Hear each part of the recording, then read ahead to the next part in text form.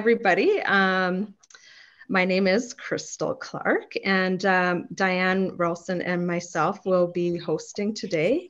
Um, welcome, elders, guests, um, participants from across the province.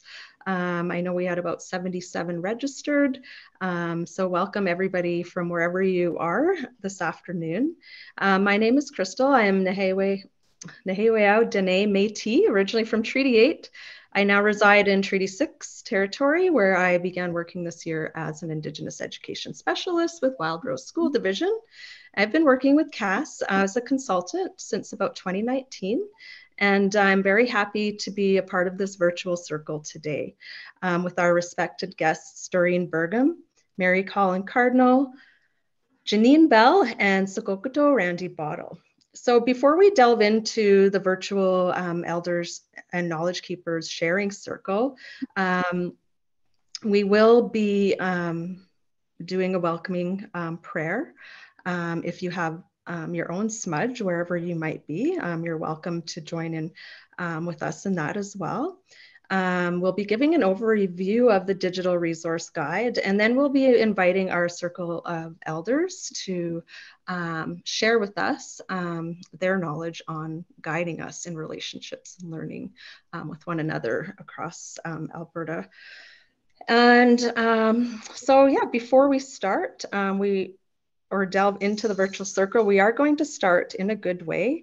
And I'd like to uh, thank Elder Sokokoto um, for uh, leading us in a um, opening blessing, as well as Janine and Doreen, um, who will also follow. So I'm just going to unshare my screen at this moment so we can um, do that. If any time you can't see my screen, okay, stop share. All right. So thank you, um, Elder uh. starting us off in a good way. you know, before I begin um, with the Amatu Siman, is how we would say uh, to smudge in Blackfoot. this is all part of relationship building, is to bring us together in ceremony, in conversations. Uh, and, and this is how we start off in a good way. We ask the Creator to bless our circle. And for all of us to get something from everyone that's going to share, and as a way of how we acknowledge and humble ourselves to the uh, to the Creator, and how I would begin every day. There's four things that I always ask for. I always ask for guidance, strength, wisdom, and, and, and patience to face my challenges. We all face challenges. And this is how we would begin. And ask blessings to make it through the day. That is how I would prepare myself. And by going through this way of balancing your, your inner spirit is starting off in a good way and to share all the information as to how it was shared with me by my elders many years ago. And I would ask all of you to, to acknowledge the Creator in your own way and how you're going to participate to strengthen our circle. And I will pray in my language, Blackfoot language, and I'm going to smudge with the sweetgrass. And I have a coal in my smudge box.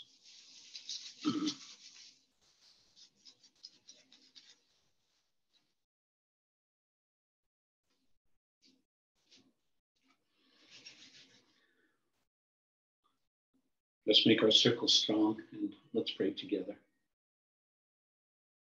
Hayo na pinatosi. Hayo sa kamito piaki na a. Ay kino katsun katsmata kino ka ksista koika. Amos ko kinis ka na flomans da sa patani pa kinika kiats mo iskane. O kinas ka kino kata pa kamans kwa ka kino ka ksista koi. O kino ka ta paspinak ni sa tapitas kamats ta kyopi. Haanekaat näyttyy piokaat nahkau täpuita, kämpoit nahkoista mustuka tuupinaan, nikakana suka piikai. Aistu päätä piopaika uskanaus, kanan mistä tsohki itse tapiokaak. Ain ruutuattuista tuossa kenikaita kukkaamista, missä samat siipinakana sukaappi. Ain katsotau täpuita, käkästuaki, Anikat nahtohtaisi kumista, että päätä piopaaki kaikkaa, kun tunnakin tässä muiskaaniin. ogna gynnig bwy gan sip stop bigs yn i gael dach ego cwch dom yn stoach gach byna yn i gael swca big a gael symwyll gan i dach i e, des o cwch yna gach byna. A yn i gael nadw sy gynnwch cwch am ynster o gael o gwych gydaw eist yma stoch y dwb a gael symwyll gan i yn i gael deg o cwch da i gael cym y dwb yna yn i gael dy bys yna. O gyn i gael da cwch da peig bwys byna ach gyda gweswca big a gyna gwyd y gael yn y gael nhw'n gael gael gyma dwi'n ma gen i gysgri mas dwi'n gael. όχι να κοκκιβάει τα πιο κάτι. Δεν κάτι τα χέρια που το τάτσι είχε να μην κάτι να σου κάτι ή κάτι. Η κοινάει και τσεκούψε με κέφτη. Ας και να το ζει και να κόκκα μάλιστα. Όχι να κάτι και αξού κάτι και να κάτι και τα κοκκι κάτι. Όχι να κάτι από τσι υπόλοιπη να αξού κάτι ή κάτι. Τα κοκκάει οχτώ τσι σπινά. Όχι να γίνει να έχουν στα πάκα μάλιστα. Στο πέντε το πιο πάτη. Όχι να κοιτώ το κομμανιό πάτη να πει ως είναι κάτι κάμπου τάνει. Pad naar bios en ik ga gaan op dan. Ach ze bed op iets en ik ook een sunny bed op iets.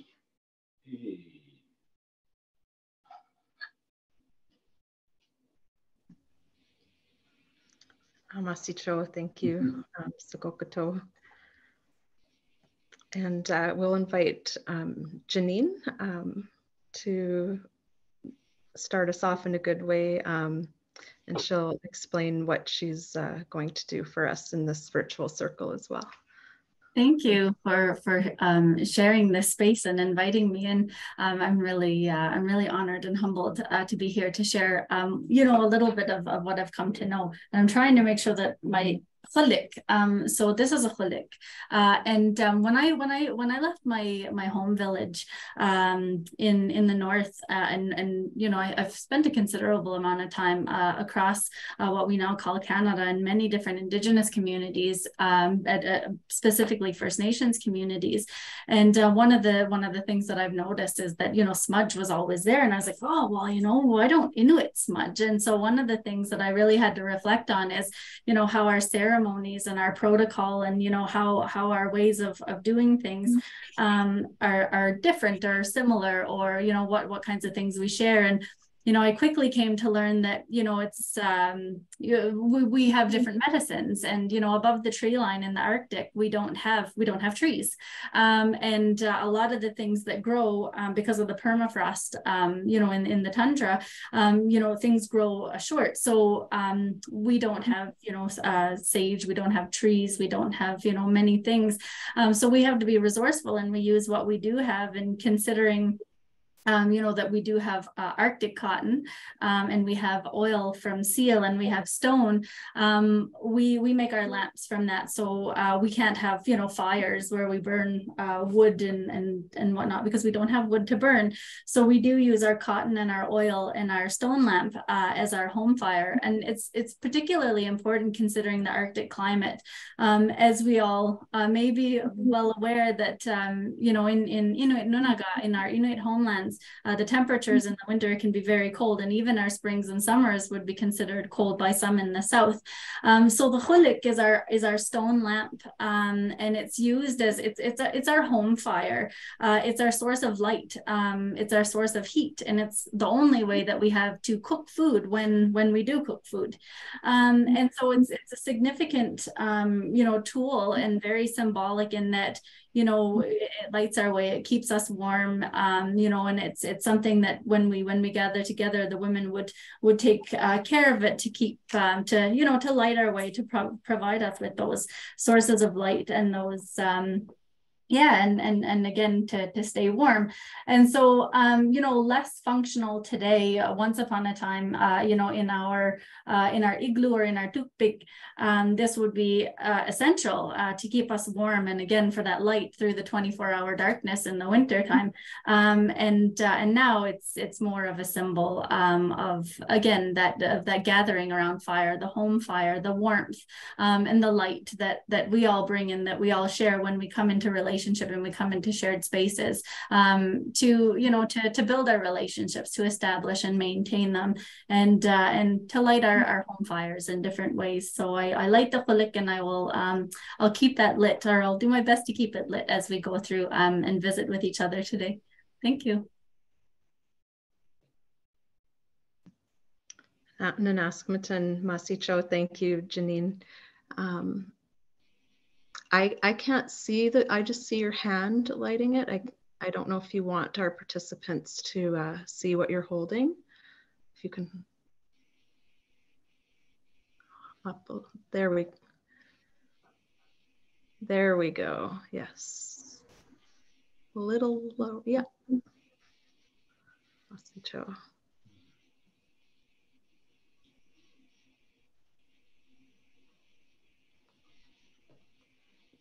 Would you like me to invite Doreen now? Um, Janine? Yeah, all right. So Doreen, if you'd like to also uh, start us off in our circle in a good way, we'd be very appreciative. Absolutely. Thank you, Doreen. Bergum Shinikashan, also Tetan. Nepapa, Ambrose de Shinikashan, Métis La Femelle Boudreau Dumont. Nemama Mary de Shinikashan, Métis La Femelle Dufresne Ness. I was born and raised and still lived in Treaty 7 uh, and a proud member of Métis Nation of Alberta, Region 3. God, our Creator, we pray that we may be truly grateful for the many blessings we enjoy this day we ask for your blessing on this gathering. We gather today to seek your guidance, wisdom, courage, and strength to understand each other, to respect each other, to work with each other. Bless all those who have gathered here. Keep their families safe and healthy. Keep our children of the right path so they grow up tall and strong. Bless our elders and give them long lives, for we need their wisdom. Bless all who are sick in our community, bring them comfort and healing. We ask your blessing that we come together to make a difference at this meeting. Merci and de toi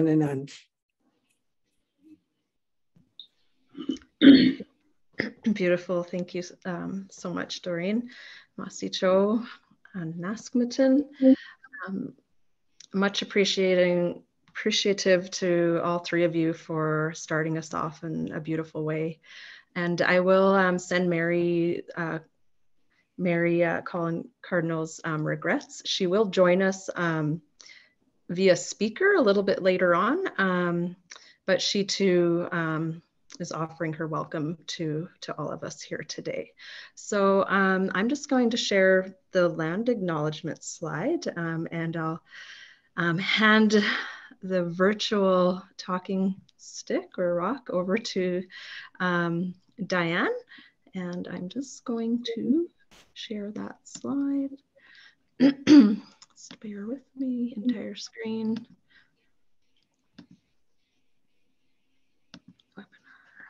View slideshow. Oh, ah, there we go. Do you see the land acknowledgement slide? Yes. Yes. Yes. Thank you, Diane. Uh, so, Oki, uh, Edlanate, Dada Nastara Ambawastich, Unu Sekut, Sego, Hoa, Anin, Tanchi, bonjour, and good afternoon. Um, I'm so pleased to be co hosting the webinar with Crystal and to be able to acknowledge the land this afternoon. And I too would like to thank Sagogto and Janine and Darlene, uh, Doreen for your beautiful uh, opening words and blessings. I was born in Mohkinstsis, the Blackfoot word for elbow the place where the Bow and the Elbow rivers meet, also known as Calgary, and that is where I am today. I am a white settler with Icelandic and French roots and a guest in this place. And I'm currently working as a leadership consultant with CASS. I am so fortunate to have learned from many elders and knowledge keepers over time, in particular during the many years I worked for the Calgary Board of Education. And I learned from them how important it is to acknowledge the land where we gather and the first peoples who traditionally lived here.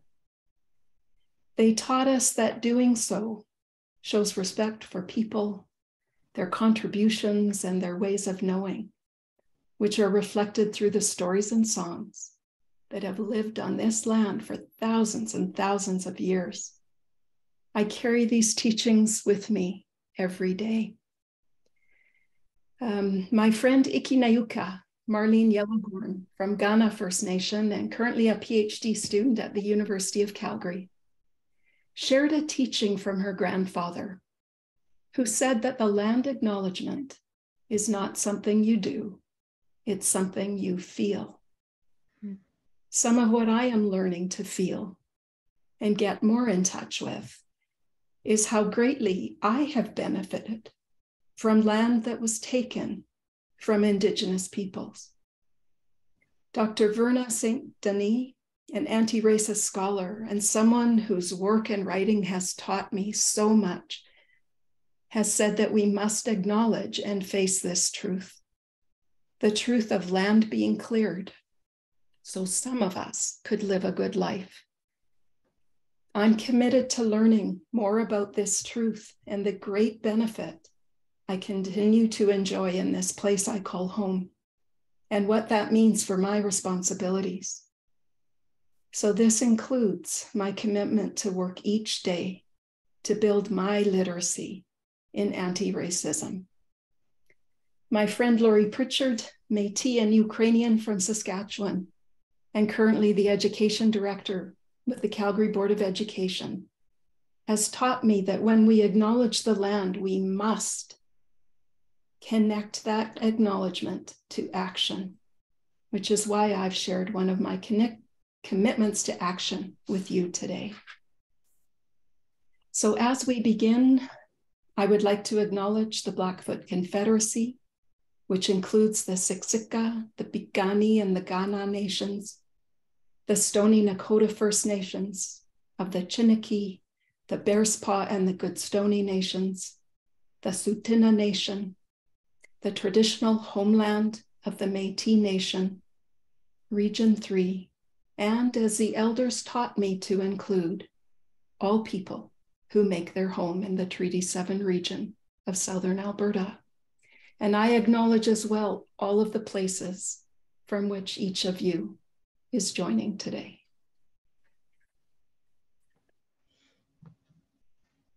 Uh, thank you so much, uh, Diane, for that uh, beautiful, heartfelt land acknowledgement. Um, it really did touch me emotionally as well, and I really uh, appreciate your your kind words.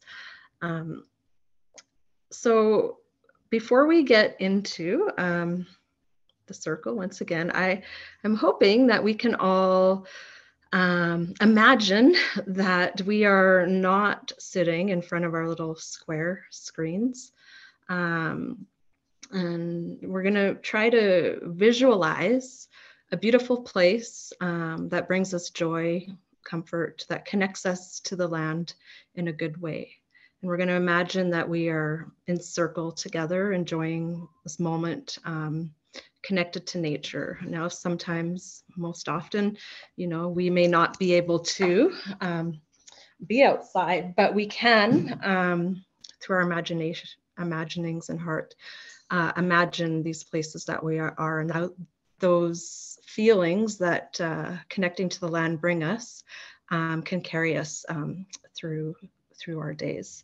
So the visual, um, the guide that we're going to talk about in a bit. It's a visual flow, um, does center around um, the graphic of a tree um, and the leaves of a tree. And the birch tree was chosen as the concept for this guide um, that we'll talk about shortly to remind us of our deeply rooted connection to the natural world. We are all re related, uh, Wahkohtowin in Cree.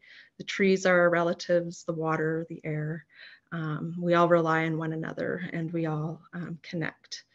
Um, so we're going to take this moment and I'm not going to play the entire soundscape, um, but maybe for a moment, um, we can imagine we're in this beautiful outdoor space together. So if you're comfortable closing your eyes, um, you can do that for a moment. And while we're listening and visualizing a place of peace um, on the, the, land together, um, try to remember to breathe. Um, and breathe deeply and connect uh, to your hearts. So we'll start this um, guided um, visualization um, together right now.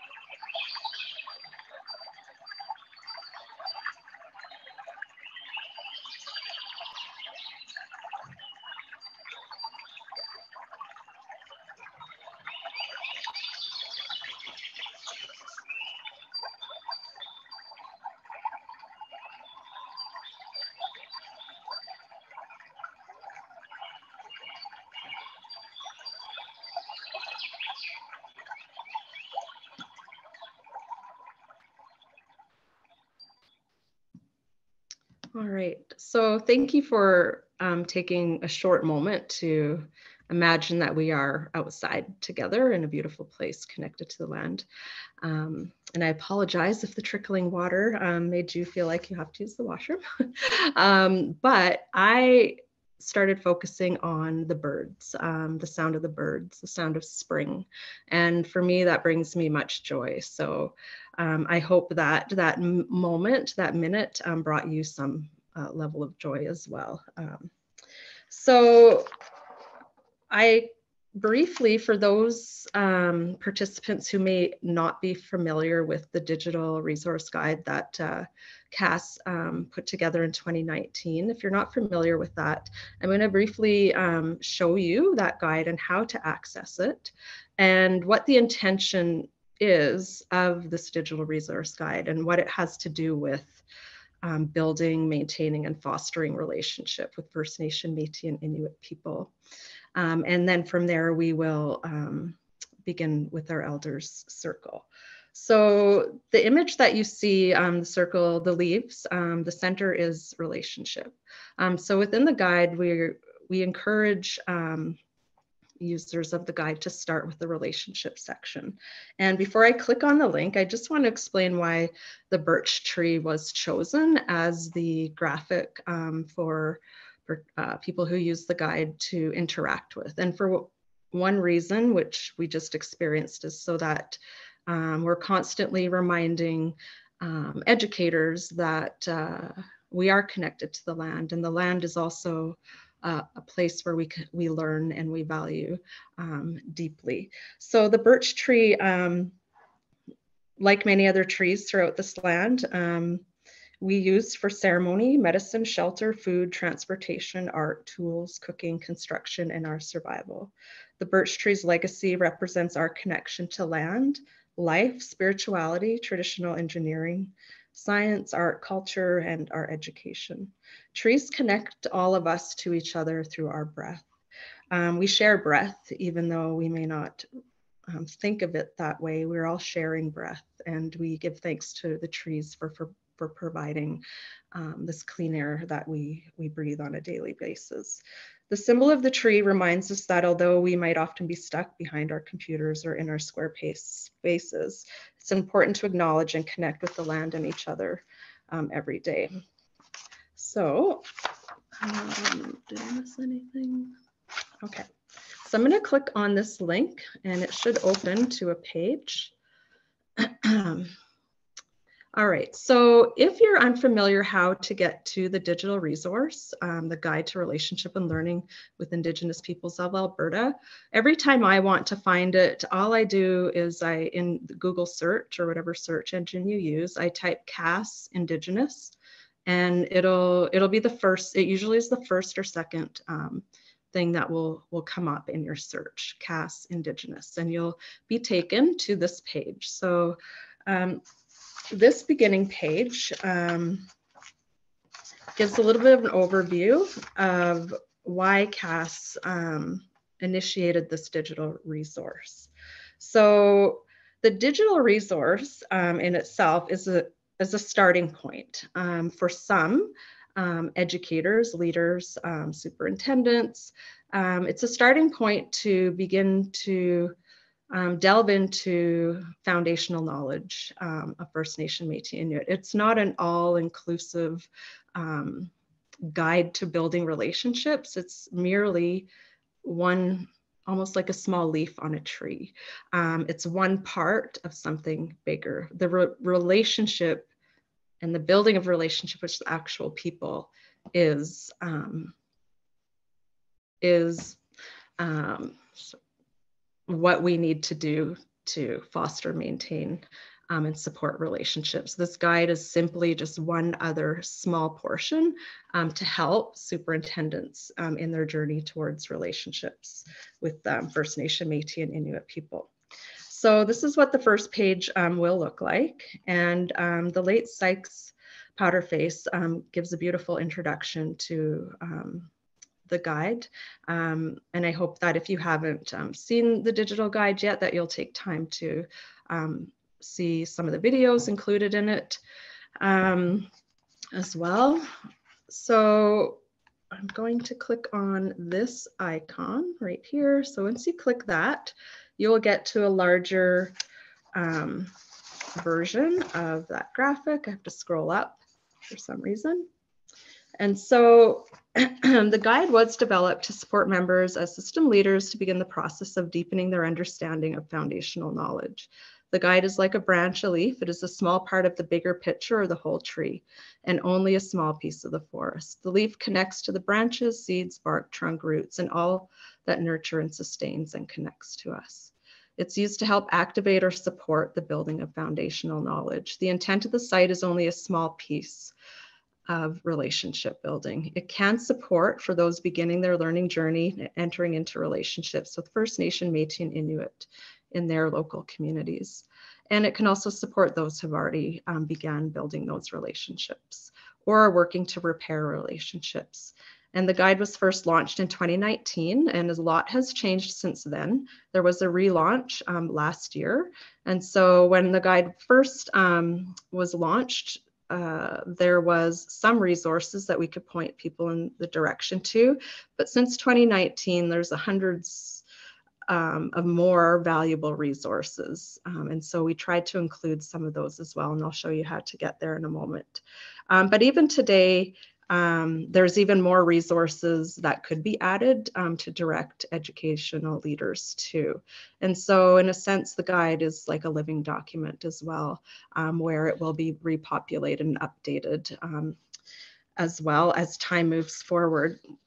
So the guide always emphasizes that the guide, the digital guide isn't the work, but rather connecting with First Nations, Métis and Inuit is the work.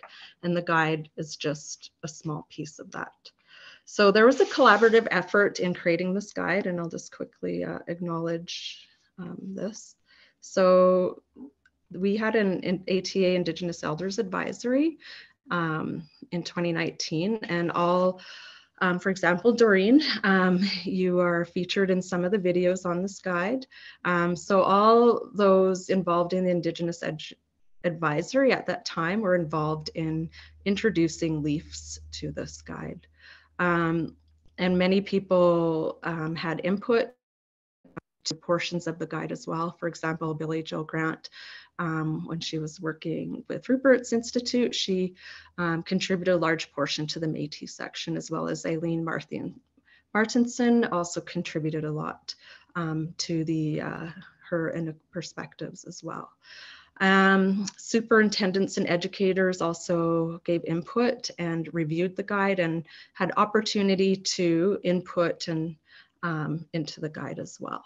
So I'll just quickly show you one leaf. Um, so for those people who haven't seen this guide um, before, so you can know how to navigate it. So I always like to suggest starting with relationship um, at the center because that's at the heart of the work that we're doing. And each leaf sort of covers a foundational knowledge topic. For example, identity, teaching, language, learning from the land, treaties and agreements, laws and policies, reconciliation, and then acknowledgements. And as I mentioned, if this is a living document, then new leaves might be added. For example, when it was re rewritten in 2021 with much more content, um, we talked we at we included um, some emphasis on anti-racist education as well as decolonizing education.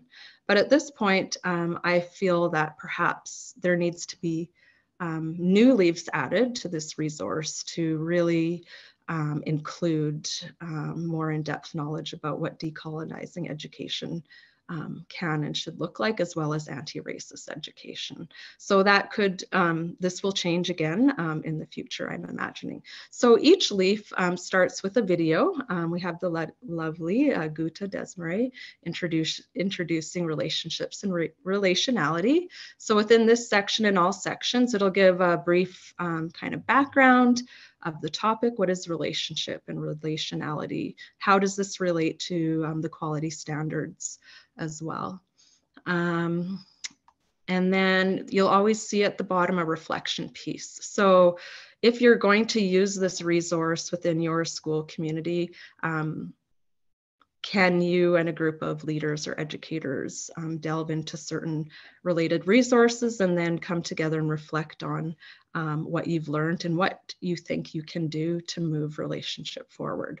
So at the bottom, there's various resources you can access. So this current version has a lot of input um, from Rupert's Lands Education. The first version um, didn't have enough, um, but as more content is added, or wait, maybe it's the next one, where's Rupert's Land? So, um, oh, here it is. So you can click on these links and it'll take you to other institutions or people who are doing great work. Um, within education um, across Indigenous, First Nation, Métis, Inuit Indigenous education across the province. Um, again, to help um, educators build their foundational knowledge. So um, each leaf looks the same way, um, has the video. Oh, I have to scroll back up. So if I click on the teachings link and the titles of the leaves could change. So we have the late, uh, lovely um, Irene uh, Ludit, um, uh, sorry, um, introducing this section. And um, we have a lot of, we worked with a lot of wonderful people and we will continue um, working with a lot of wonderful elders and knowledge keepers to help to continue support um, our superintendents and leaders um, into the future. So with that, um, I am going to go back to this slide so that's a brief glimpse into the guide. Um, and now we will, we're going to turn it over um, in a moment as we introduce um, our virtual circle of elders and knowledge keepers. Um, we will shortly um, turn it over to them and I will shut my screen off. I'm going to give a little bio on myself and Diane. We'll give a bio on our guests today. All right, so Doreen Bergum, um, you met earlier um, when she gave us a beautiful prayer. Métis Elder Knowledge Keeper. Her Métis family names include Boudreau, Dumont, Dufresnes, and Vaniers. I hope I said those right.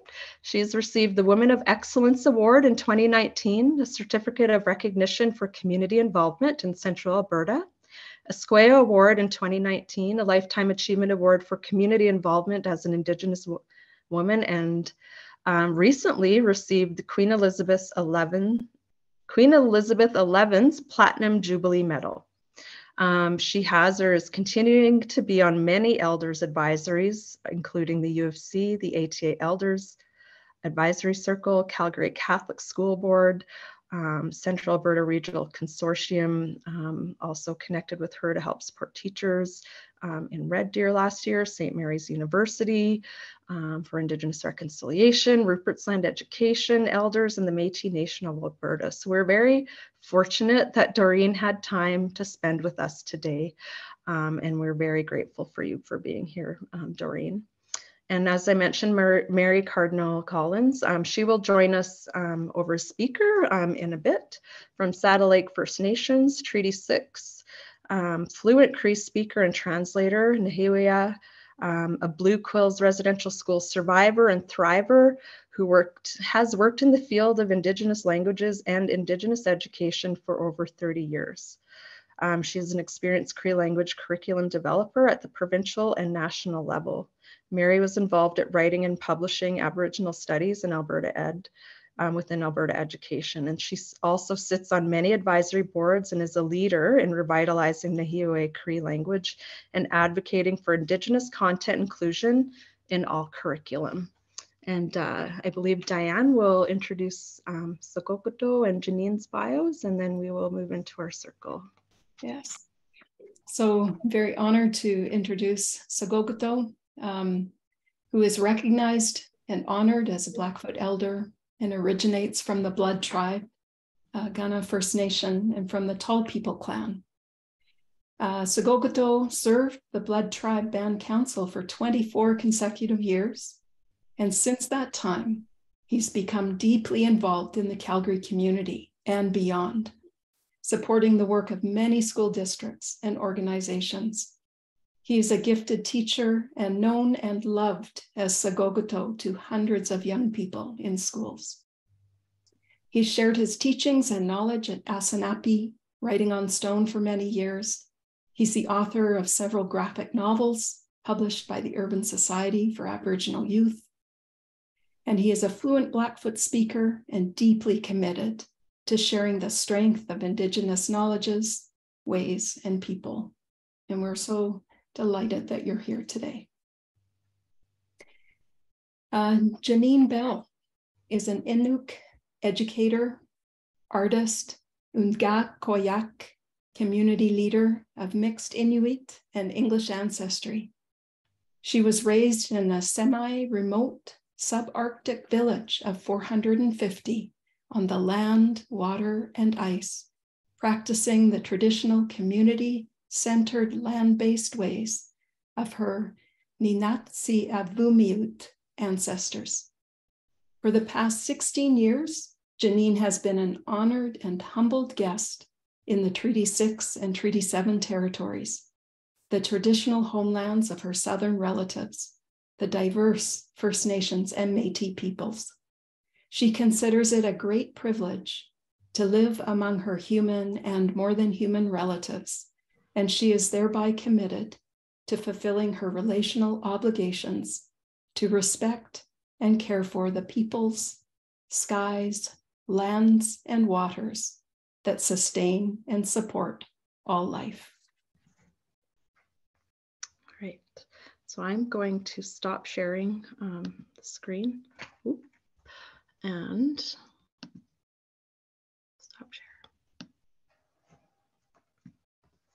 All right. So I believe um,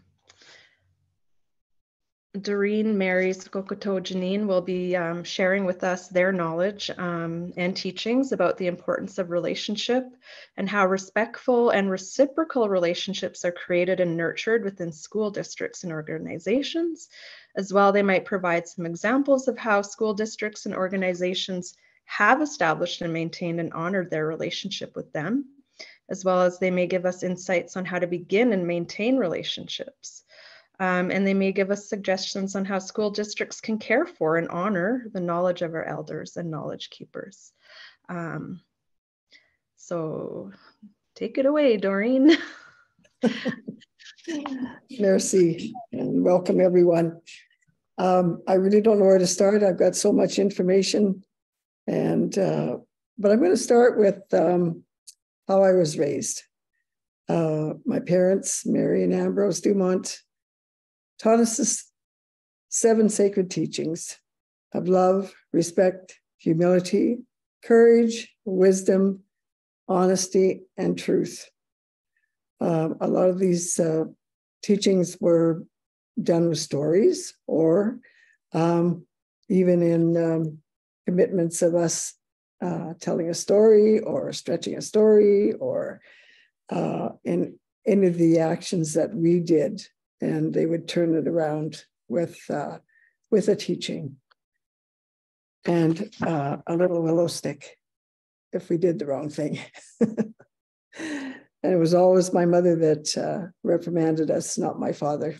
He would just have to open his mouth, and uh, we knew we were in trouble. So um, my mother went to uh, to day school at a residential school in Onion Lake, Saskatchewan, and uh, she never did, never ever spoke of her school school years. And with that, um, I reflect now on um, on her teachings and guidance of uh, how she raised us. And uh, for one thing, she would uh, scrub her floors with bleach on her hands and knees so we wouldn't be called dirty Indians.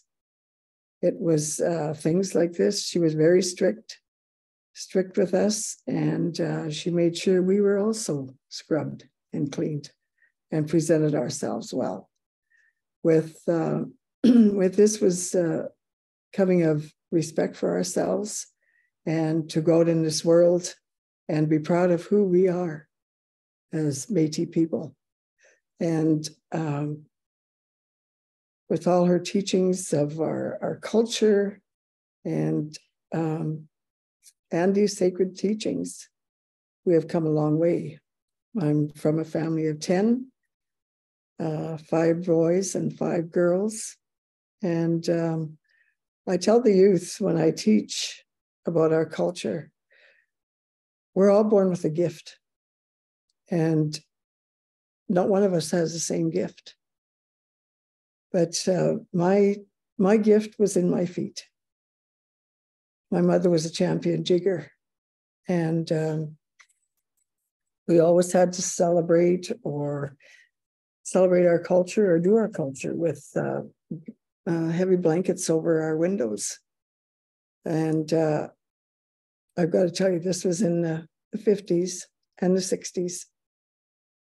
So no one could uh, judge us on our what we are doing with our culture.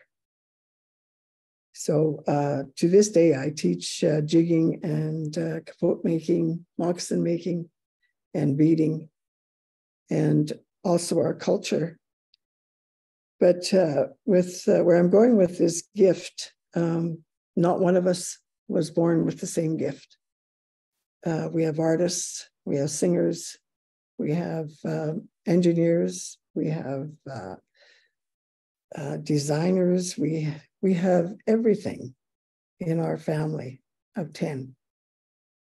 And um, I could not, uh, I could not practice my dance until I was uh, 55 years old. And I too became a champion jigger like my mother.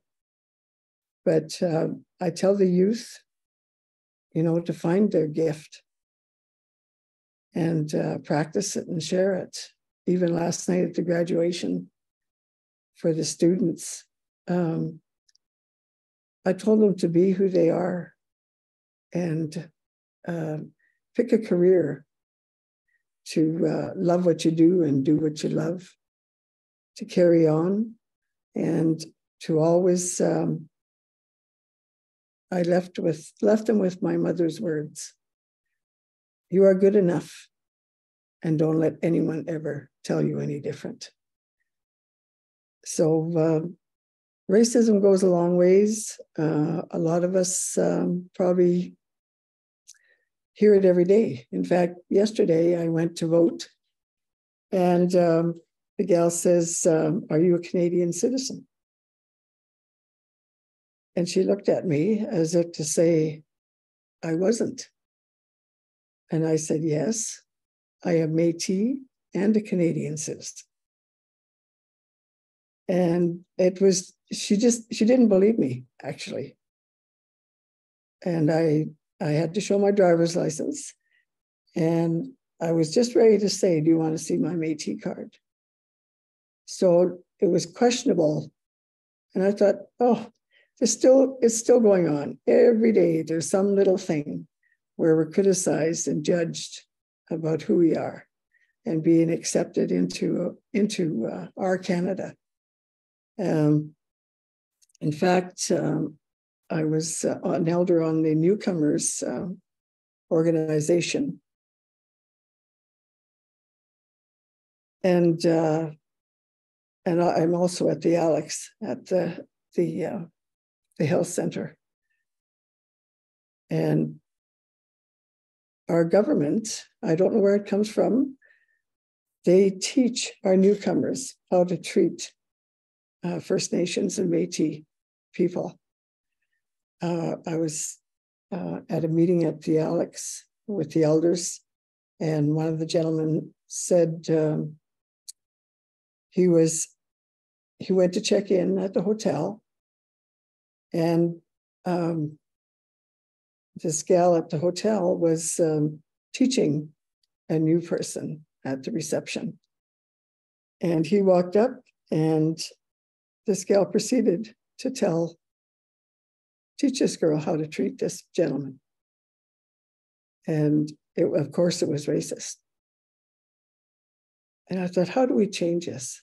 How do we change the government on how to treat us? you know, the newcomers are treated better than our own people, our First Nations and Metis and Inuit people.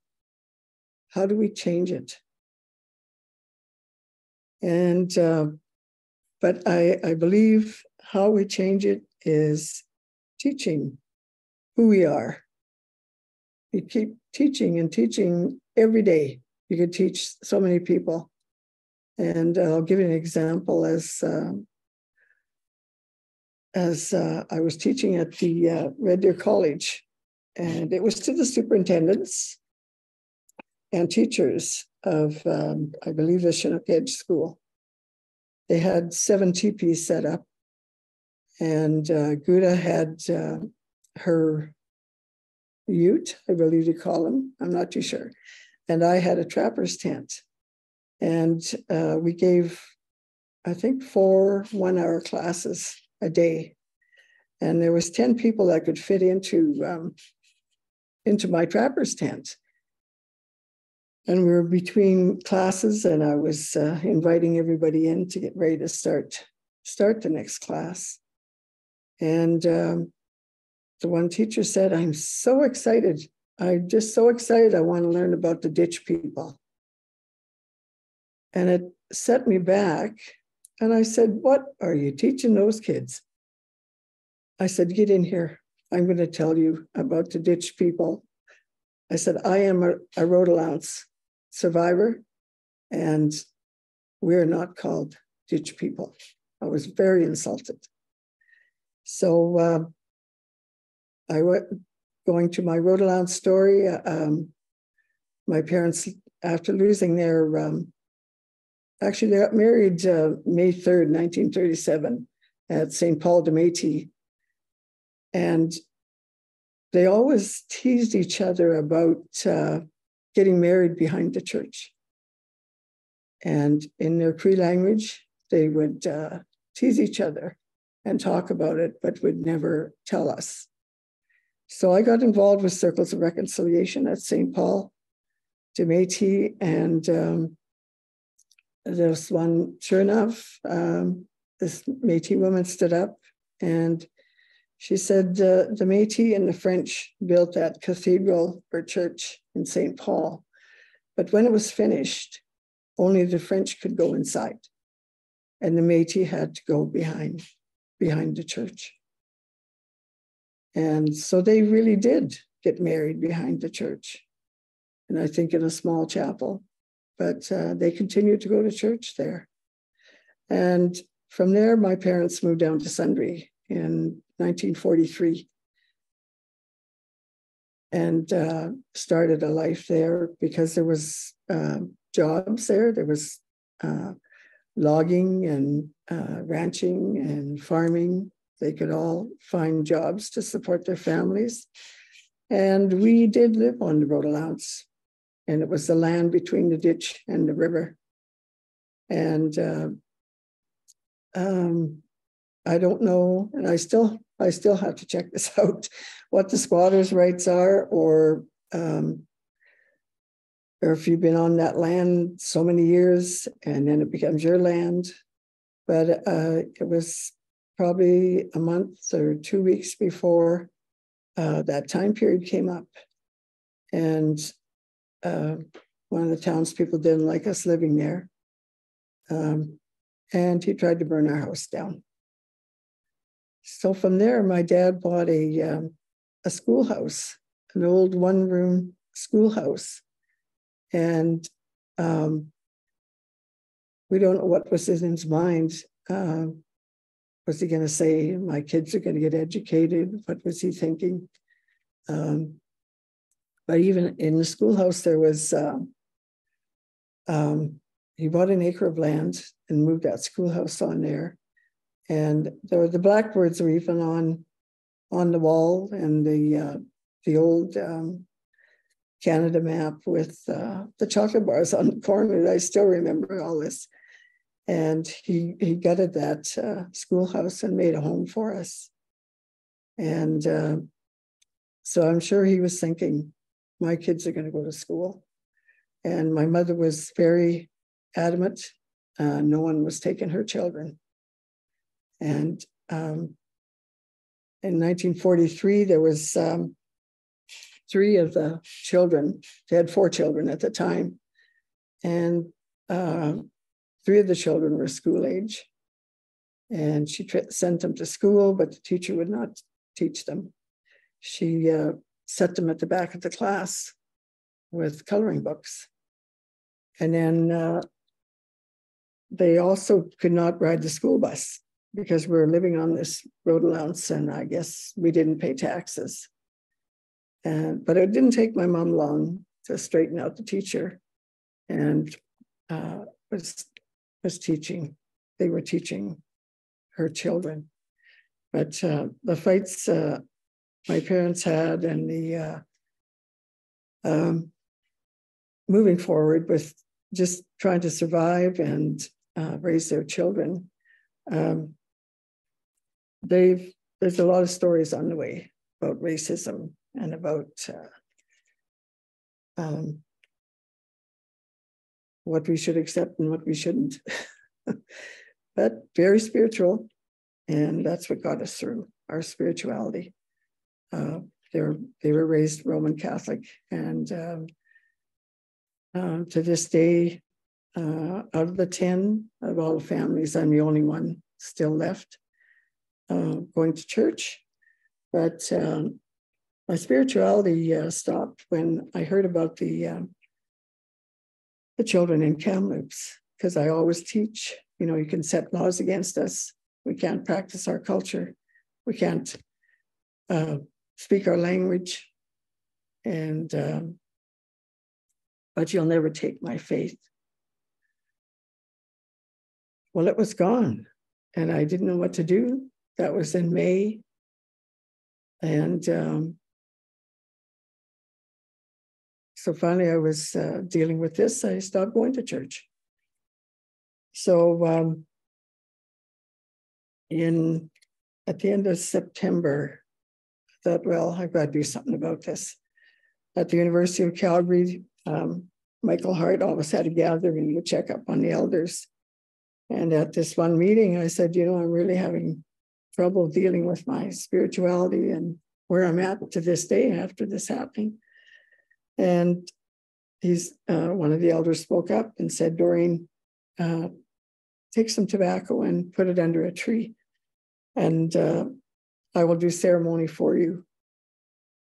I said, okay, and then I'll go talk to the priest. So uh, we did all that, and then I um, made my appointment with the priest and walked into church. And the first reaction I got was uh, I was met with uh, one of the CWL women. And uh, she said, Well, it's about time you came here.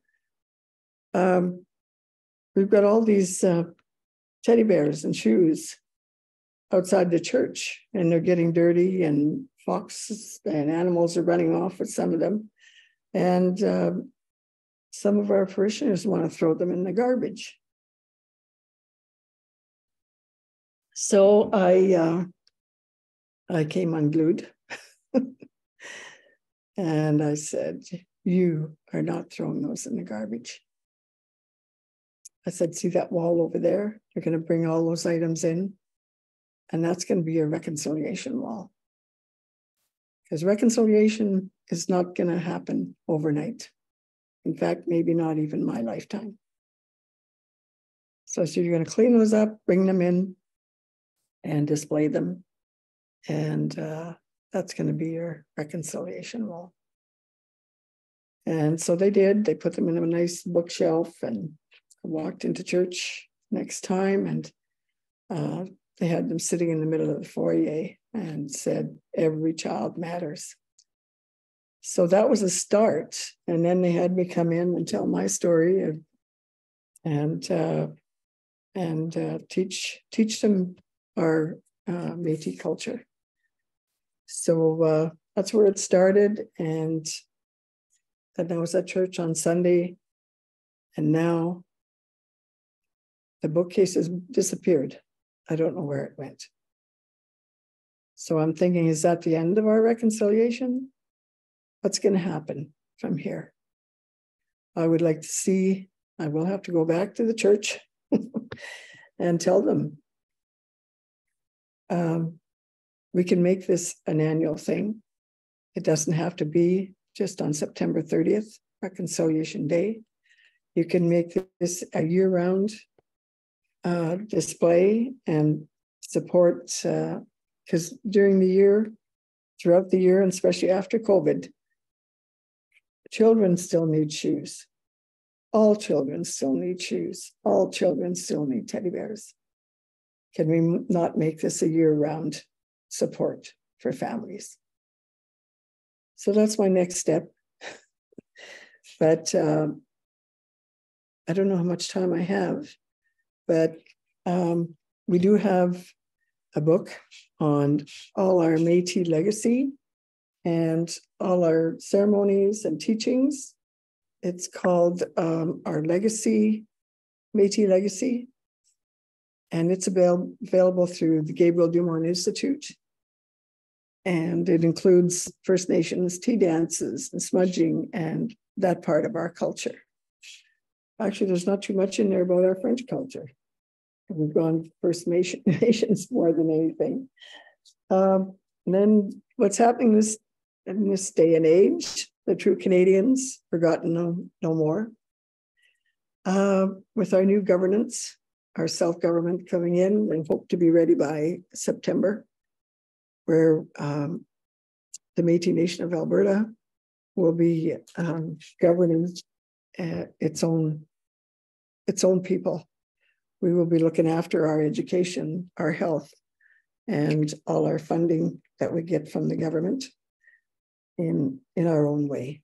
And we will be called the Métis Otipemisiwak government. Otipemisiwak means the people who own, own themselves. So uh, working with schools and um, educators, I suggest the main thing is get to know us. Get to know us, know who we are and what we've contributed to this country, First Nations, Métis, and Inuit. And so we can be treated and be respected for who we are. And um, I do this for my parents because they were they were so adamant about us uh, presenting, presenting ourselves and um, contributing uh, to this country. And um, with that, I don't know if uh, if you want to find out about our, about our spirituality, uh, we would uh, visit uh, Lake St. Anne every year. My dad had this pickup truck and he put willows over the back with a tarp over top, and in went all the children, our, our trapper's tent, our grub box, our clothing, and away we would go to Lake St. Anne.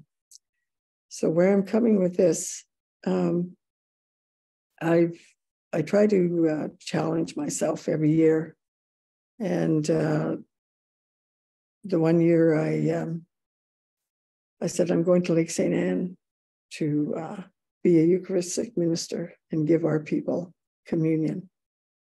Um, and it's been such a joy.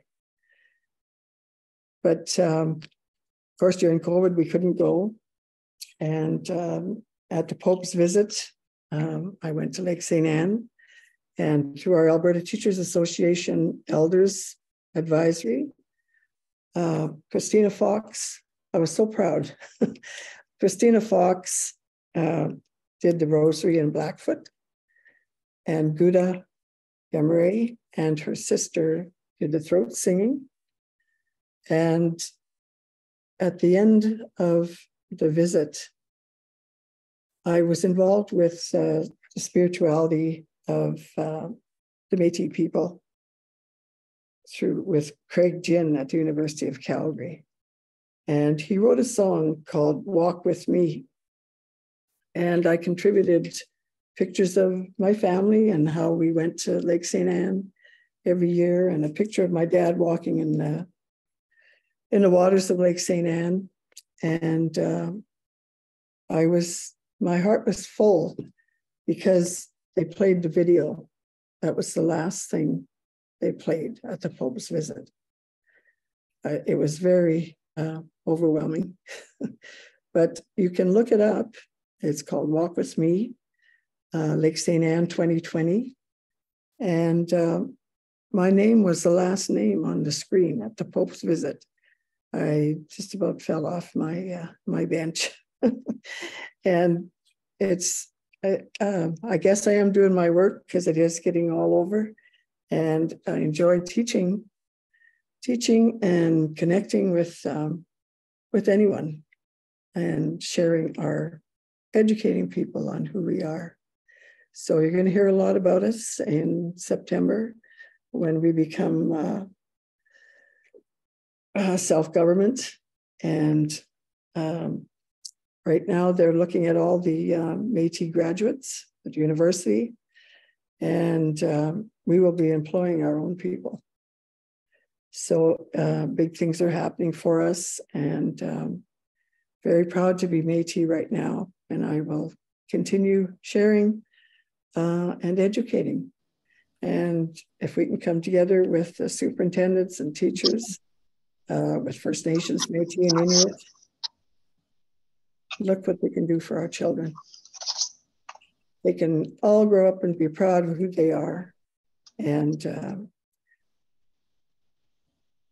and um, that's that, that's just the biggest thing is to be proud of who you are and uh, and move forward, maybe together in parallel with uh, with uh, with our Canadian government and people.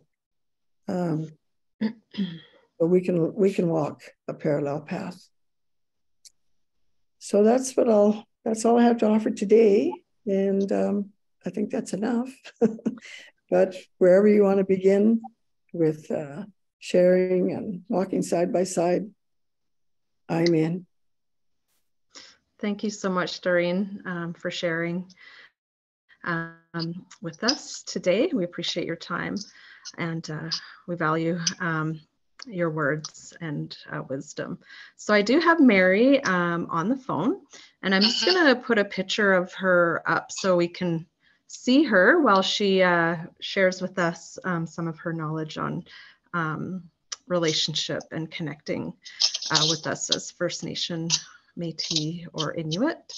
And I will, Mary, can you, uh-huh. can you hear Mary, everybody? Yeah. yeah, okay. All right. So, Mary, you are live. I'm going to show a picture of you now. All right. Okay. Okay. Yeah.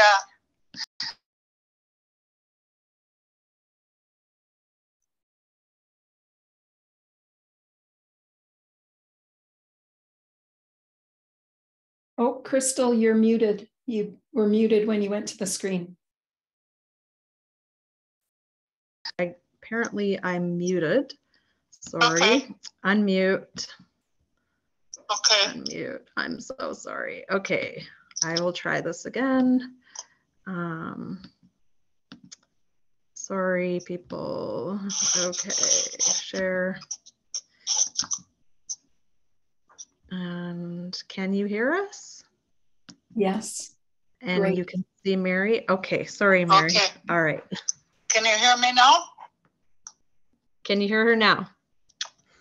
I can't hear them. Yes, we can hear you. Yes. Okay. They can Okay. hear us. All right. Okay.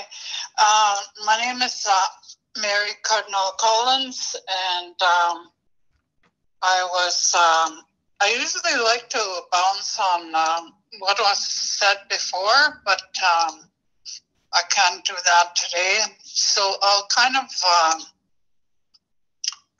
um, I'll kind of uh, start from scratch and uh, I don't know what was um, shared before, but I do know that um, I, I, I, uh, listened to the last part of Doreen's um, presentation. And uh, Doreen is one of the um, elders on um, on the um, committee at the ATA committee. And I think that's where I'll start with um, sharing some of my information on uh, to the CASS people. And um, so, where do you start when you're looking for um, resource people? You're looking for elders. Um, I would start at um, asking asking around for um, to uh, maybe the ATA, to the friendship centers, chief and council of wherever wherever it is that you're um, um, want to sh- share the elders' wisdom with. Um, one of the things you have to um, find out is um, is uh, you have to find out what your elder is um, what what their uh, specialty is. Okay, for instance, um, because I, I know Doreen and I know Guta, um, their specific um knowledge is on um, Inuit uh, Nunavut, in fact, uh, eastern eastern um, Arctic, and uh, for Doreen, it's uh, Métis Métis history. She's a darn good jigger, and um, a um, uh, we can only tell uh, talk about our experiences, say for um, we can only tell our story. So when um, you find out um, with your elders that um, find out what their specialty is. For instance, myself, I can only tell my story, and I'm um, my specialty is language, uh, Cree language, and languages in general. I keep my um, my uh, information about other languages too, and um, I'm willing to share that.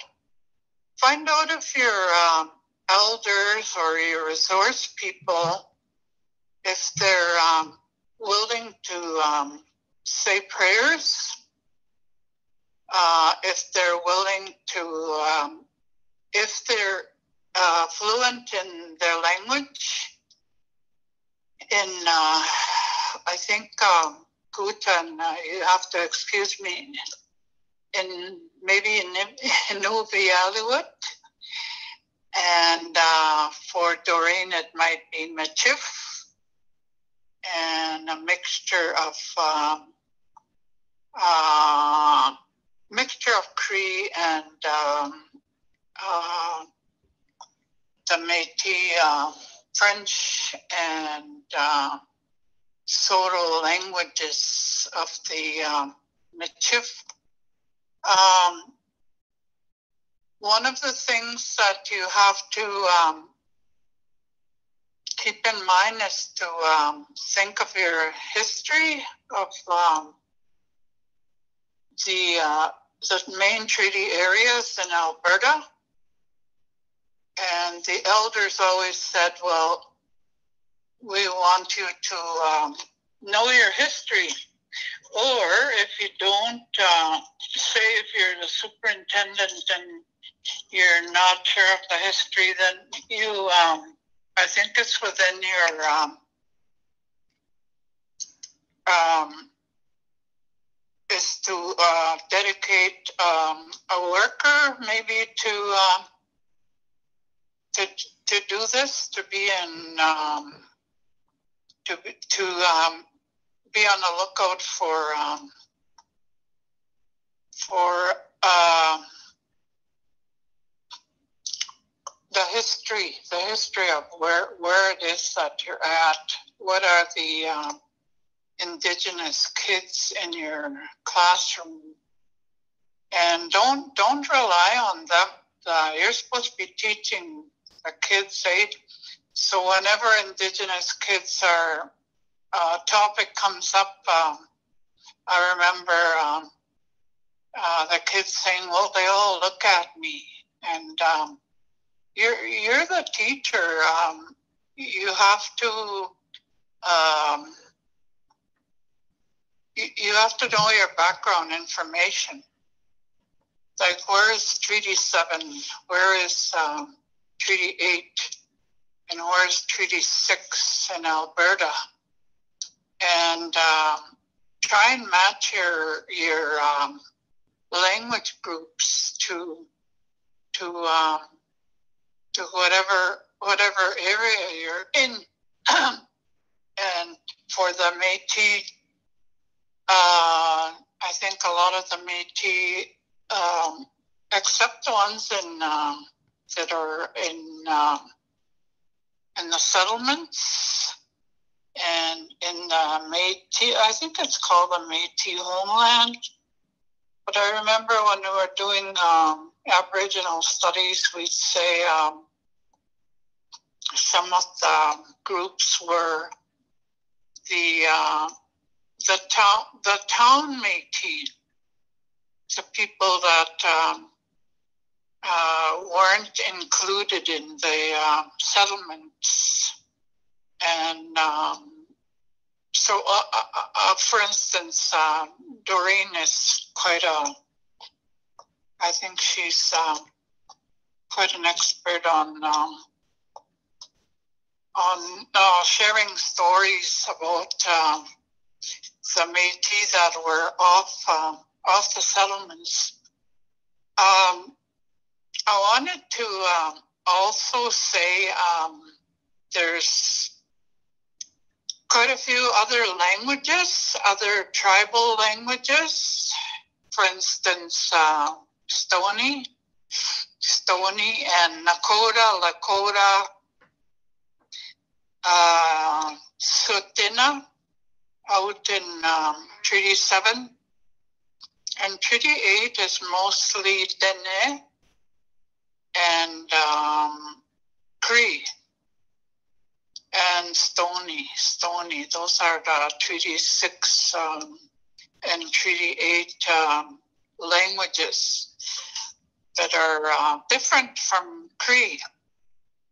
Um, Okay, what um, what else am I looking at here? Um,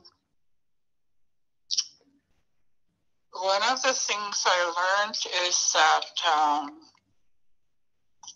uh, for instance, um, throat, throat singing, I think uh, Doreen um, talked about that kind of, uh, and uh, Gutta, for instance, uh, this is one thing I learned from her is that um, the um, Eastern Arctic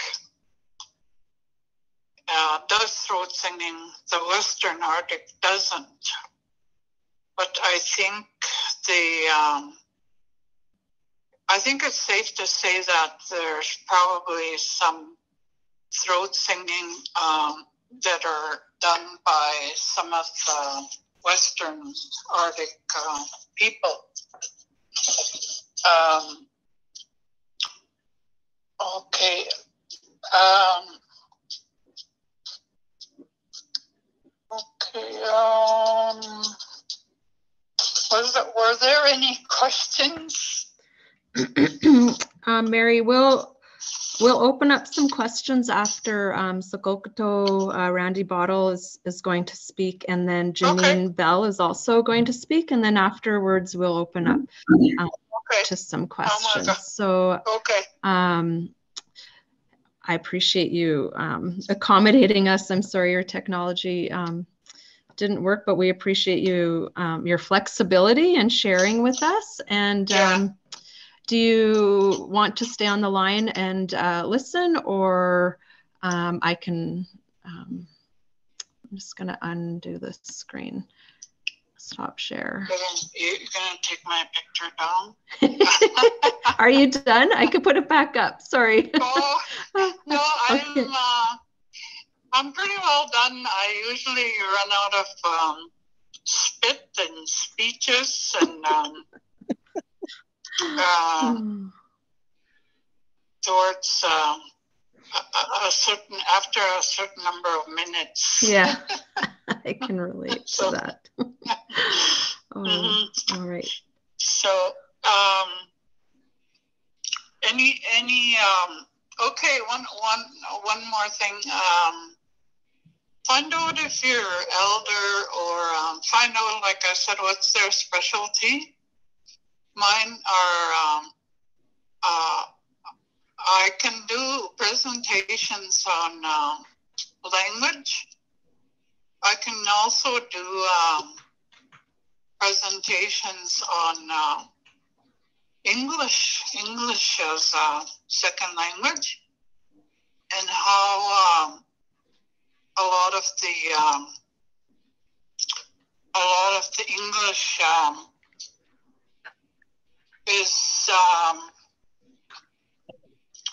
you can you can borrow a lot um, from um, English to Cree. Um, a lot of the uh, place names in Alberta, for instance, are um, either Cree um, translations or are there um,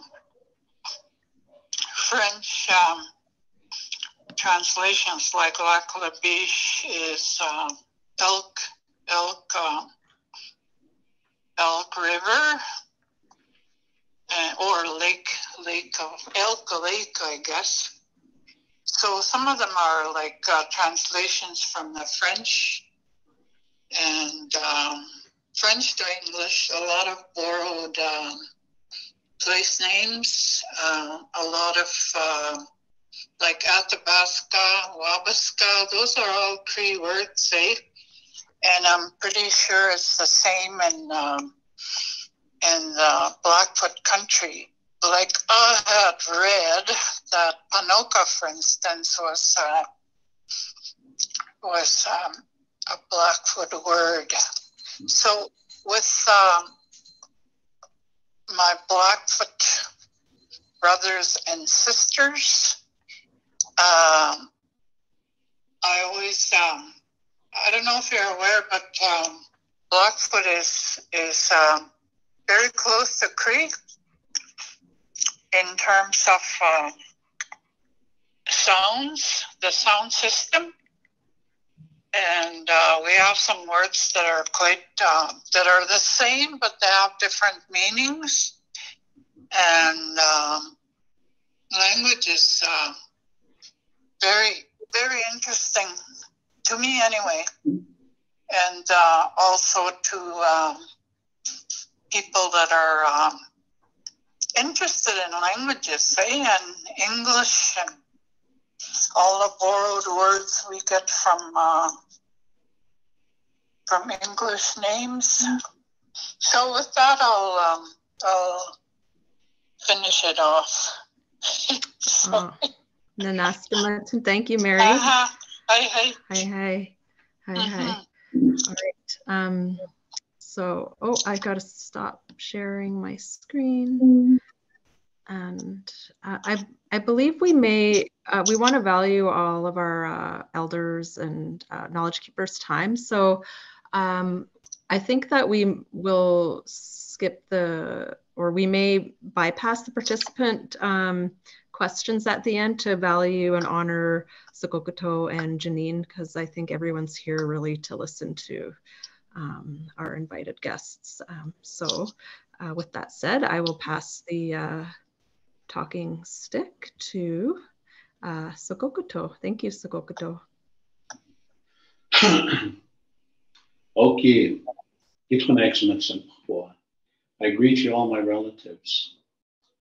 Uh, first of all, really appreciate and, uh, and honored to be in this circle and, uh, and to share who we are as people.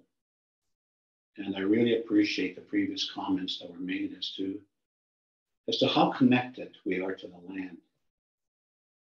And how I was taught by my teachers and elders many years ago is the importance of that kinship. We call that kinship with the land. And in Blackfoot, we call Mother Earth Na'a. And this is where everything begins. And we have that kinship or that relationship with the beings of the land, all of the animals, kinship with the beings of the water, beings of the sky. And I used to hear the old ones many years ago from going through ceremonies. They would always acknowledge all of the beings and how we coexisted because we needed one another for survival. Going back to the land is, is, is very important. And that's where all of the, the lessons and our way of life begins. Excuse me. And the beauty of the land is what the ancestors had left behind. You know, we go back for thousands of years and we see images on stones, circles on the land, and effigies that were left behind. And they always say, Isso, the ones in the future are the ones that are going to learn from that. But what I find is, you know, the beauty and the importance of those messages. They were left there for us to learn from them, but at the same time, I guess the lesson is to figure them out. My belief is that when we have that, that kinship, and how that has been shared for thousands of years is what we share with our children, grandchildren, going into the schools, and also working with educators, which is really important. What we share with them is what they bring back home, back into their communities. I'm going to use this one school as an example where that relationship was really important. And first, working with the teachers and to share how important it is to establish that relationship with Na'a, Mother Earth. And also to, to bring the students out on the uh, for them to truly understand where all people come from, to begin to understand of how you can connect with that inner voice, that inner spirit that you have, an importance of sound, being out on the land. This is where you really focus, where you are, and begin to feel the energy of Na'a.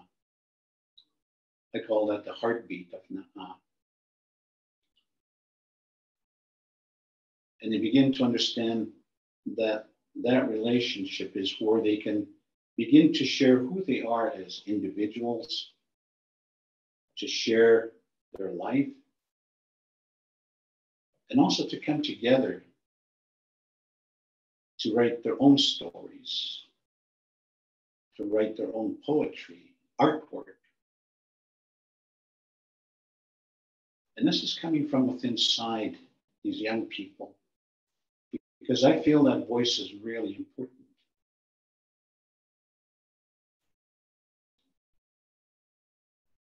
Language is also very important. And I, I heard how, how much we emphasize in sharing that.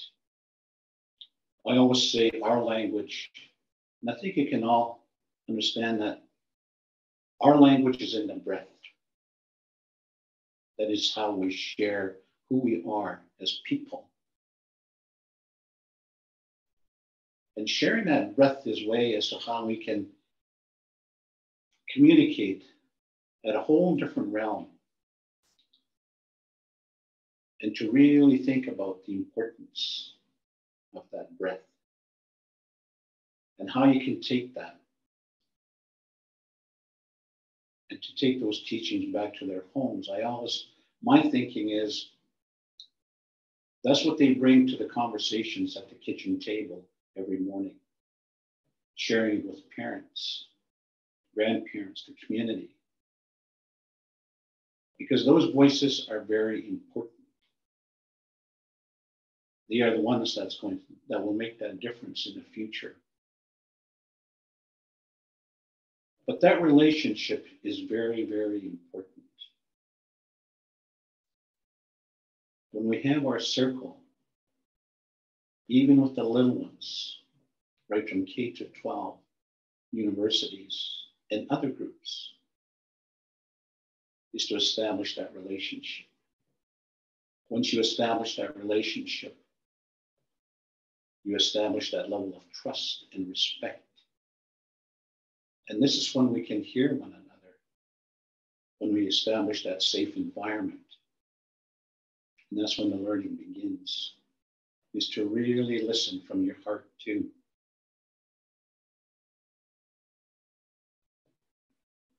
My responsibility, and it came with the name many years ago when my father realized I started walking in the footsteps of my great grandfather.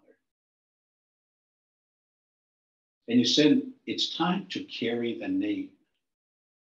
It was very interesting as to how he said it's time to carry the name because in the future, Saa'kokoto is going to go to someone else in our family. It could be during my lifetime or after. But the name itself comes with many responsibilities. And to honor my great grandfather I fulfill those responsibilities, and I'm, and I'm doing that today, is to share and why stories are so important in our way of life. I can speak from my language, the Blackfoot language, was never a written language. But some of the stories that we share today are probably 10,000 years old or even going beyond that and how for centuries our way of life was passed down from one generation to the next. This is why we still have our way of life. We still have our ceremonies, and especially the language. I'm a fluent Blackfoot speaker. And my grandmother was one of my first teachers. And, and sharing that with me was a way as to how they would share the stories and the importance of the lessons that we learned from the stories. And I realized later years what my grandmother was doing was instilling those core values or the good things that I needed to know in life to grow up to be a good person. That was our way of preparing our young people. And just think we all have that gift. And we all share that with young people. Every summer, I go to a very beautiful place. And this is where my ancestors kept records for thousands of years.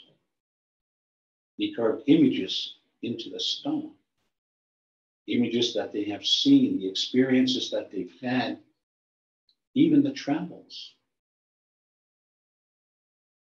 And those are the archives of our people. I always call it my university. This is where I'm able to, to learn about a way of life that existed thousands of years ago. It always makes that full circle back to ceremony. The importance of our sun dances, our sweat lodges, and other, other very important ceremonies. And how we share that with other nations. This practice has been ongoing for centuries, where we shared ceremonies, we shared a way of life, we shared stories. I had the opportunity to go down to Mexico, where I met a Mayan elder. And he shared stories about where people came from the cold, from up north, where our people shared ceremonies, the language. We traveled all over North America as people. There's mention of how in some languages there are similarities. That is true. But we have many languages even though we speak different languages. We all spoke a common language centuries ago where we communicated through our own sign language. And that language still exists today. And that is the language that we're sharing with the young people. The importance of how, as people that come from the land, and how we communicate and how that relationship building is so important. And that's how we share. So, learning all of the lessons and the beauty coming from the Ah Mother Earth, this is what we're carrying forward. And we do it in many different ways. Storytelling is very important. but also to find other means as to how we can communicate with the young people. All young people sitting down in a circle is the best way to share. But even today, technology also comes into the picture. And how we can use that to begin to share the beauty of our culture, the beauty of the language, is through technology. If that is how they're going to learn, that is okay. Because they're still learning our way of life. Doing graphic novels and to be able to tell the story in my language at the same time, it's being translated into English. To begin to realize that in some cases, the Blackfoot language is very difficult to learn. That's the response I usually get. But if you converse with others on a daily basis, you begin to understand the basics of the language. I was a leader in my community for a number of years, and I knew the importance of education. And we all know that we always have the best interest of our young people and what we need to do to support them. I ensured that we, we established that support system. Sure, there was a lot of negative languages that are being used out there about who we are as people. But at the same time, I feel the importance or the important part of our way of life is to showcase who we are as people, how educated we are. And we're seen everywhere.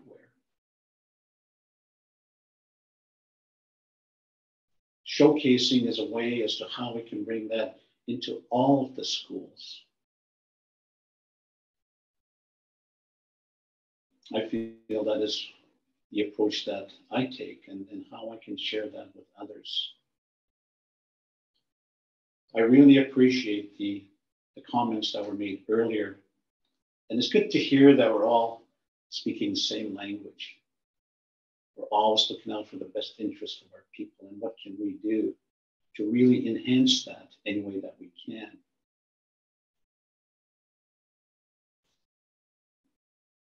But having the, the knowledge that was shared with me many years ago, I am very blessed to have been in those circles to hear the elders and my grandparents. And these are the stories that I share today.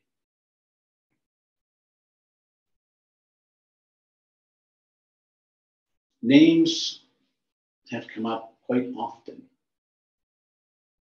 And Saa'kokoto is my second name. My first name was Pukanika, which means young leader. And that's what I carried forward for a number of years. But when my dad realized that something needed to change to continue with our way of life, he said it's time to carry the name Saa'kokoto. And what Saa'kokoto means is crystal clear ice. Maybe that's why I like the winter. But I really appreciate the opportunity to share a little bit about who we are as people, why the land is very important, why images that come from the land is a way of sharing the beauty of our culture and the beauty of the language. But ceremony is really important because that's how it was shared with me many years ago. Is amatusma, is to smudge and this is how we begin our circles. Smudging is a way as to how we begin to establish that relationship.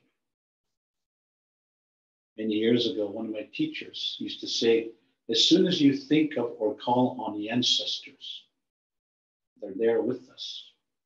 And that is so true because that's what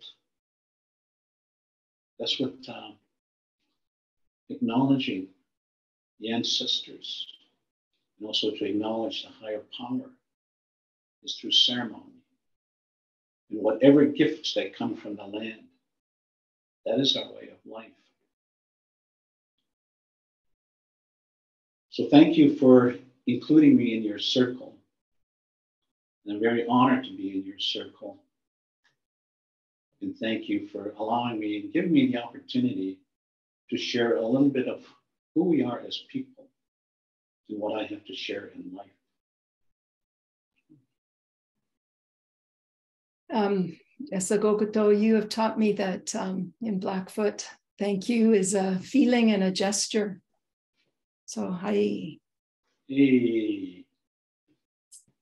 Um, and Janine, I'd like to invite you to share and um, yeah, No, gladly. And, you know, I think it's a beautiful um, intercession or, or, to interweave what uh, what Saa'kokoto uh, had mentioned in regards to naming and that um, you know in our in our inuit customs we have naming traditions also and uh, you know in, in our customs um, were named after uh, close fam- family friends or, or, loved ones who have passed on to the spirit world. Uh, it's a uh, it's believed that it's a link between the past and present. Believe that the spirit of that loved one is enmeshed within the spirit of the individual. Um, in that that individual, that child, is is destined to take on the qualities and characteristics, the gifts of that loved one, to ensure that you know those gifts are, are continue to contribute to our common good and to um, you know to to support and uphold our community and uplift our community. And so, uh, Nyuvunga, um, my name is and I was named after my great grandfather, John Michelin. He was a, a renowned uh, Inuit hunter, trapper, fisher, and guide. Um, his intimate knowledge of the land led many explorers and adventurers through um, Nunatsiavut and Nunavik in the Quebec uh, Labrador frontier. Um, even to this day, stories of his abilities to navigate the land, uh, water, and ice of our traditional territories in Nunatsiavut and Nunavik, um, they echo into today. Um, so I'm mixed Inuk and Haluna, and uh, I'm very fortunate to have been raised on the land and the water of the uh, traditional territories of the Innu uh, First Nation and our Inuit Nunatsiavut Inuit. Um, it's it's the relationships that I formed with the land, the experience, knowledge, and skills acquired through those community-centered land-based um, teachings, through led by my family, by my community, and through spirit that you know have have made me who I am today. And so coming back to the gifts of my grandfather, um, in that you know I may not be navigating uh, individuals through the the Quebec Labrador frontier and our Nunatsiavut uh, wilderness, but uh, I do navigate, um, you know, individuals through settler colonial institutions, especially the education institution. Um, I've been the first in my family to um, to obtain a post a sec a, an education beyond the eighth grade. Um, you know, like many of our other uh, indigenous relatives, my my family, my mom and my dad, and my aunts, uncles, cousins, uh, everyone before me, they were day, day school and residential school survivors, and I missed it by a few years. Um, and my mom really pushed uh, you know that education so that i could you know use those those air those that platform to to share my gifts and to you know again navigate others to successfully um, navigate through these wildernesses. And so, um, you know, I'm grateful to be here uh, to share my a little bit about what I've come to know about relationships with you, and to you know, and a complementary to to what the other elders have shared. You know, how do you how do you how do you follow um, all of that? But one of the things I learned really quickly was, um, you know, that the way that we interpret and define relationships i think it starts with with that and that recognizing that you know the when we hear the word relationship not all of us understand it in the same way. Um, you know i was confronted with that when i was asked to um, to work with the curriculum division in the government of alberta rewriting the kindergarten to grade 12 um, curriculum as a member of the first nations métis inuit division.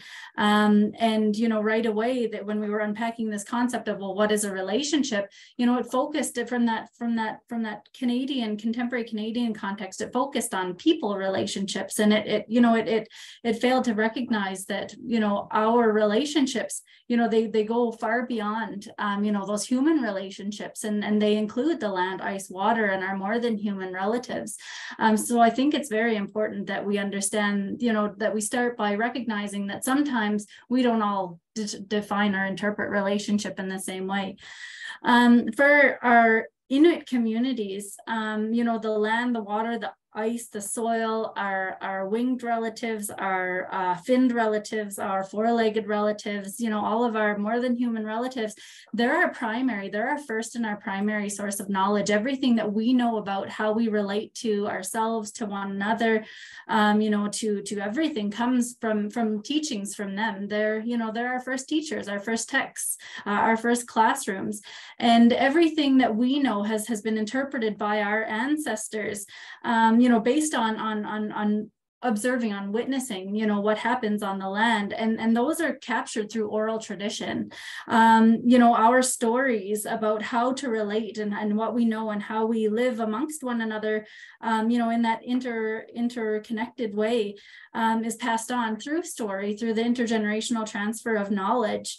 Um and it's those and, and within those oral traditions and within those stories um you know our, our, principles and our practices are embedded um, within those. And and those are the oral traditions of all cultures not only indigenous cultures. If you look at you know for example we look at the origin story of of uh, of Christianity with Adam and Eve, or or um, you know with with God creating the day uh, the the earth and all of the everything's in the seven days, or we look at um, you know the the origin story of Turtle Island, and you know and the the the muskrat get in the dirt and putting it on the back of the turtle, or we look at the origin stories of our Inuit and how you know things were just as they were, and we came out of dirt mounds and we grew like little potatoes in the ground, and we we got dug out, or you know things you know all of the ways that we relate to ourselves and our others all of our principles and practices everything that influences our actions as as people it's embedded within those stories and it comes from the land and it's passed on through that intergenerational transfer of knowledge. And so um you know i i don't, I don't want to go on too long because I know time is limited. Um, but you know, to understand who we are and, and to, to really form, you know, relationships with us, you need to know, you know, what are our principles, what are our practices, what are our values and our beliefs, what are our stories um, and then and then that helps because our stories and our principles and practices they influence our actions. They influence how we you know they like we have to acknowledge that we relate differently. Each community relates differently. Um, you know we we're all unique and we're all diverse and it's based on you know the the vastness and the diversity of of our geography our climate um, and and our waters. And and so you know for for inuit we we live by four um, inuit maligait uh, for uh, for natural laws um, and they're all centered around relationships working for the common good um, being respectful of all living things maintaining harmony and balance and continually planning for the future. And then you know, embedded within those four are eight um, Inuit Qaujimajatuqangit principles. Uh, and those principles, again, they're all centered around um, um, respecting relationships and caring for people, Tunnganarniq, um, fostering relationships or a good spirit by being open, welcoming, and inclusive. Um, there's so many, and all of those principles, they they they determine how we how we how we walk in this world and how we walk with and among others. And so i think you know to to understand you know and, and build those relationships we need to know who we are and what our values are and how our values and our beliefs and our principles influence those actions. Um, we need to situate ourselves in relation like how they how we situate ourselves in relation to one another to ourselves to the land and and see how that may may be different and and come to understand you know how how do we situate and how do we see relationships as being being similar or different and off, more often than not we find that we have more similarities than differences.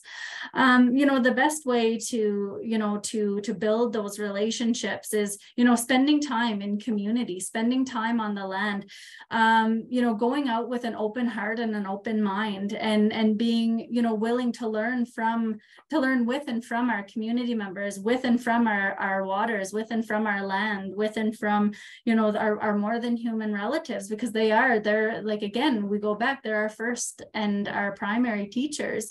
Um, you know, everything that we know comes right from, you know, what we've observed and what's been passed on again through uh, the intergenerational transfer of those uh, oral traditions and those stories.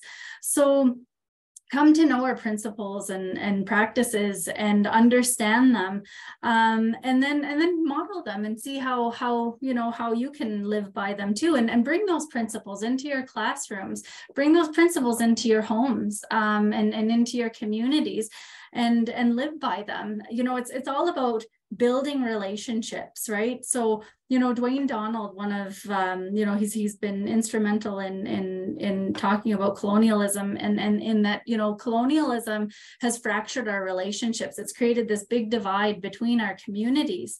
Um, and so you know the the fractured relationship caused by it is denied those relationships. So to decolonize and indigenize and reconcile we need to to restore and renew um, those relationships and you know and establish them build them maintain them um, so that we can grow together and we can come together to share our stories authentically and and genuinely live in the way that treaty meant for you know that relationship where we walk together side by side and and we learn with and from one another and and we can take you know the best of both worlds and and and you know and bridge those gaps and just you know and and create this this beautiful road forward. And so um you know relationships it, it all everything is a relationship. Um you know uh, learning is a relationship with with words on paper or you know so anyway it's it's building relationships. And and again spending time uh, authentic time in community again with open heart and open mind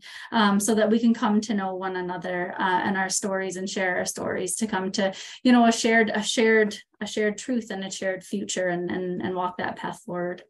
Yeah. Thank you um, uh, Doreen and Mary, Sagogato, Janine, um, Crystal and I, and I'm sure all who have been here today would like to express just deep gratitude to you. And um, as we are just before we close, um, we wanted to just take a moment to mention that the way we honor knowledge matters greatly.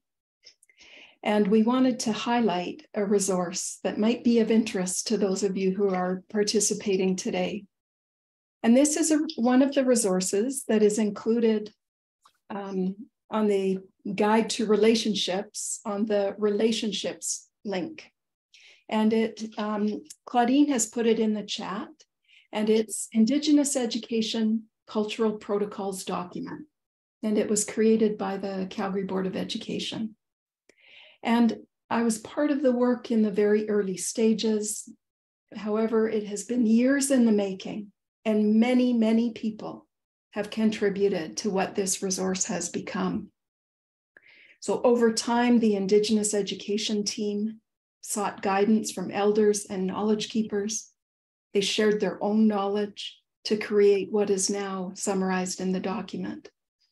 Superintendents and other senior leaders worked to make sure that the CBE policy, policies and administrative regulations would uphold these cultural protocols. And I learned this morning it's going to be um, updated over the next couple of months. So we highlight it today because it may be a valuable resource for you in your work.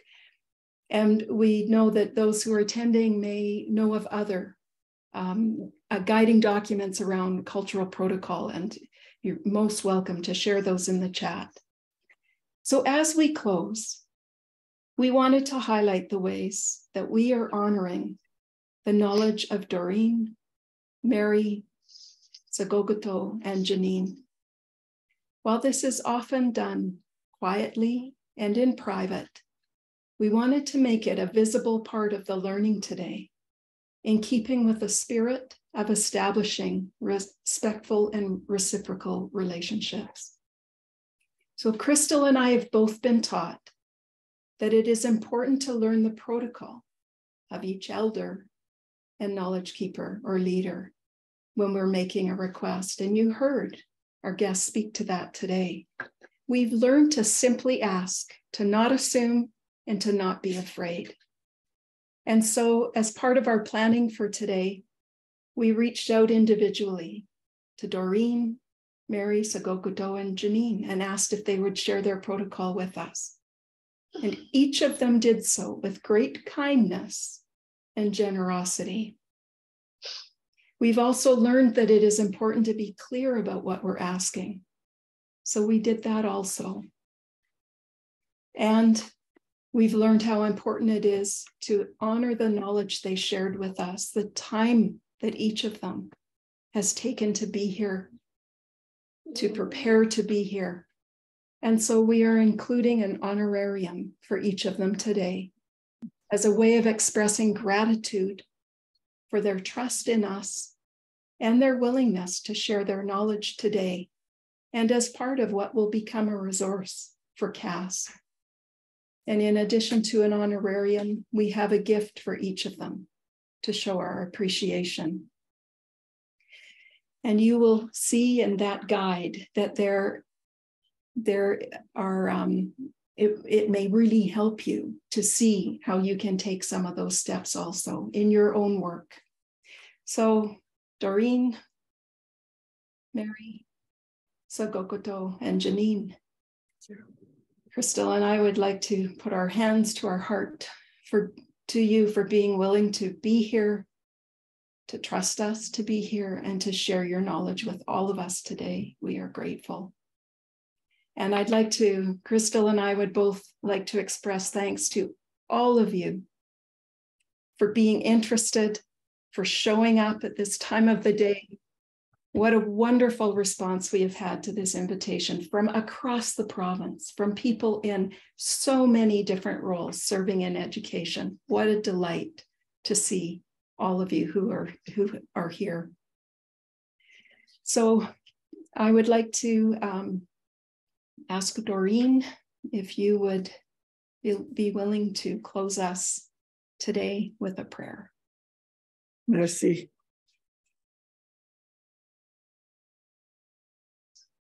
Everything is so simple and we make everything so complicated. That's why we're confused. The Creator designed a very simple set of laws for us to follow. If we follow these simple things, we'll be happy. If we don't follow these simple things, our li- lives become complicated.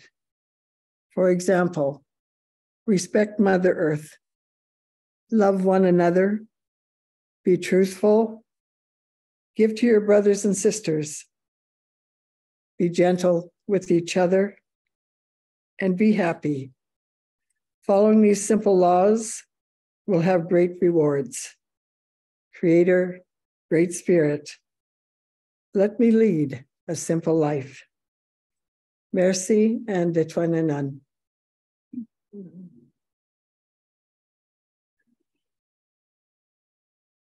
And with that, thank you. We will come to a close. Mm-hmm.